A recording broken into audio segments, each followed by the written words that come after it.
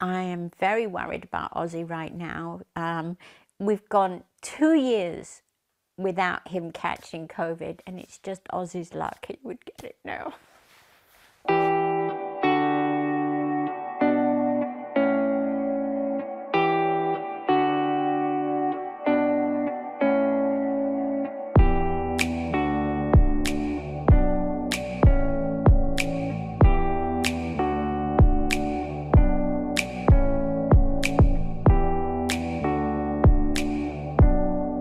We've gone two years without him